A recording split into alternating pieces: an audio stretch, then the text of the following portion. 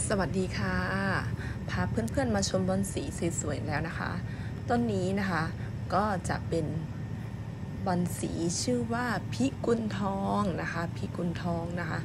ใบสวยงามมากๆเลยนะคะ ใบก็จะเป็นสีเขียวอ่อนออกเหมือนสีทองทองๆเลยนะคะ แล้วก็นะคะมันก็จะมีริ้วๆที่เป็นสีแดงนะคะ เป็นแบบเส้นๆนะคะ แล้วก็จะมีแบบรอบๆนะคะ ขอบใบมันก็จะเป็นเส้นสีเขียวอ่อนสีเขียวแก่นะคะ มันเหมือนสะท้อนสะท้อนเป็นสีทองเลยนะคะ ตามหามานานแล้วนะคะ พิกุลทองคืออยากได้มาก เพราะว่าชื่อมันเพราะนะคะ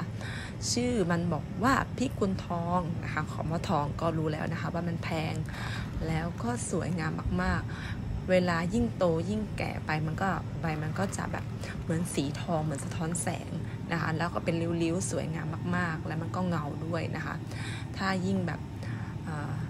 ยิ่งใบแบบแก่ๆมานะคะใบแบบที่มันแบบสวยๆนะคะใบมันจะสวยงามมากๆนะคะ ถ้าได้ทรงสวยๆนี่อันนี้เราก็สะสมนะคะ ใบสวยงามมากๆนะคะ ดูแบบ เหมือนสีทองจริง ๆ เลยนะคะ สีเขียวอ่อนนะคะ ดูดูทรงทรงสวยงามมากๆเลย ตอนนี้มีอยู่ 2 ใบนะคะเราก็ตามเก็บนะคะ ตามเก็บไม้เก่าหรือว่าไม้แลไอเทม แล้วก็ตามเก็บไปเรื่อยๆนะคะ ราคาจะถูกจะแพงเราก็ชอบนะคะ